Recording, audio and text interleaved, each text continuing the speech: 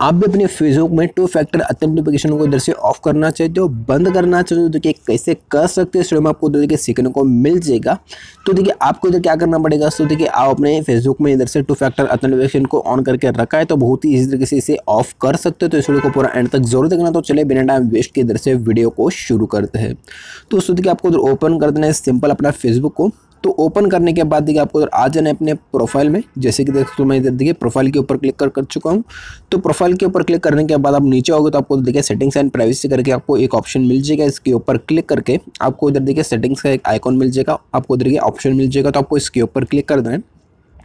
आप बहुत ही इसी तरीके से कभी भी इधर से ऑफ़ करना चाहिए हो ऑफ़ कर सकते हो ऑन करना चाहिए तो ऑन भी कर सकते हो। तो देखिए, आपका इधर इस तरीके से आ जाएगा तो आपको उधर क्या करना पड़ेगा, वैसे ही नीचे आना है।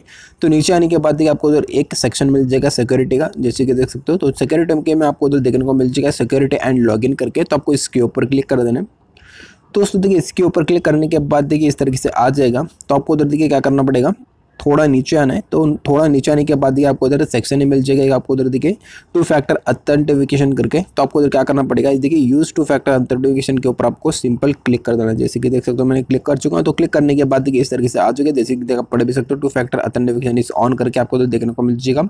ऑफ़ है तो ऑफ़ देखने को मिल जाएगा ऑन है तो ऑन देखने को मिल जाएगा। और साथ ही में देखिए आपने कौन सा इधर से नंबर को ऐड किया हुआ है, वो नंबर आ जाएगा और सिक्योरिटी मेथड करके देख सकते हो आपका इधर देखिए नंबर भी आ जाएगा।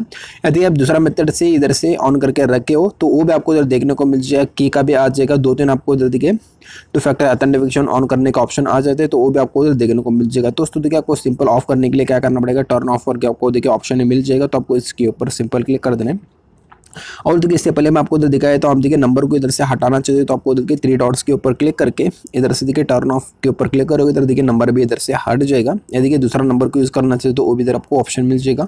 तो आपको टर्न ऑफ़ के ऊपर क्लिक करोगे तो आपको देखिए this will turn off two factor authentication करके आ जाएगा। तो इधर से देखिए आप पढ़ भी सकते हो। तो आपको देखिए सिंपल क्या करना पड़ेगा टर्न ऑफ़ के ऊपर फिर से आपको एक बार क्लिक करके इधर से देखिए अपना फेसबुक का इधर से पासवर्ड को ऐड कर देना तो इधर देखिए मैं फेसबुक का पासवर्ड को ऐड कर लेता हूँ। तो पासवर्ड को ऐड करने के बाद देखिए आपको कंटिन्यू के ऊपर क्लिक कर देना है तो क्लिक करने के बाद देखिए मैं इधर से पासवर्ड को ऐड कर चुका हूँ तो ऐड करने के बाद देखिए अभी इधर से ऑफ़ हो जाएगा, वो मैं आपको उधर दिखाया तो फिर से एक बार मैं क्लिक करता हूँ तो क्लिक करने के बाद देखिए अभी देखिए ऑन करने का आपको ऑप्शन आ जाएगा, जैसे कि देख सकते हो तो इस तरीके से आपको ऑप्शन आता है तो देखिए आपका इधर से टू फैक्टर अथेंटिफिकेशन अभी ऑफ़ है, अभी बंद है तो उम्मीद करता हूँ आपको उधर पता चल गया होगा कि आप देखिए अपने फेसबुक में टू फैक्टर अथेंटिफिकेशन को कैसे ऑफ़ कर सकते हो तो चलिए मैं दोस्तों में मिलता हूँ और एक नए वीडियो के साथ, तब तक लिए बाय बाय और जय हिंद दोस्तों।